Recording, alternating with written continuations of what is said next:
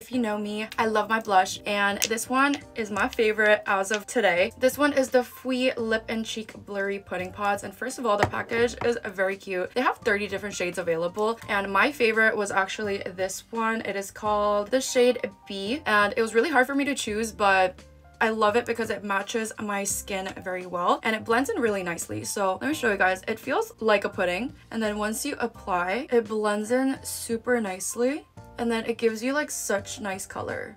Like I'm obsessed. How cute!